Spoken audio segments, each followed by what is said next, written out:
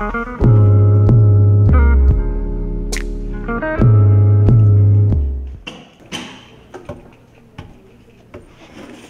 wrong, champ? Man, all my friends got dates to homecoming, but I just don't have one yet. I can help you out with that, Kyle. Come here. Kyle, asking a girl to homecoming is like riding a bike. If you try and fail, it hurts. But if you know what you're doing, and you got training wheels, then it's just easy cruising. Do you think you can help me out? For sure. So what's the first thing I need to do to ask a girl to homecoming? Well, first you gotta find a girl to ask to homecoming.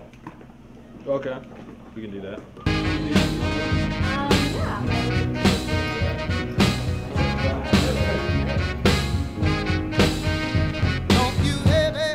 All right, we did that. So what's next? Well, the next thing you gotta do is make sure she hasn't been asked already. Oh. Hey, Shauna, are you going to homecoming with anybody? No, not yet. Sweet. Well, the next thing you gotta do is think of a totally original way to ask her to homecoming. Okay, so what's next on the list?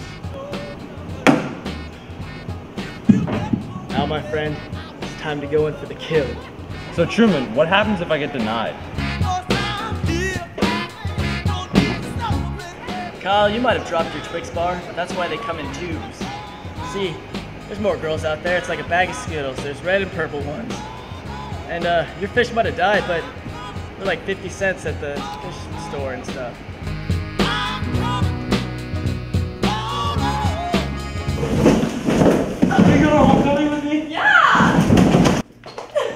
Thanks, Truman. Anytime.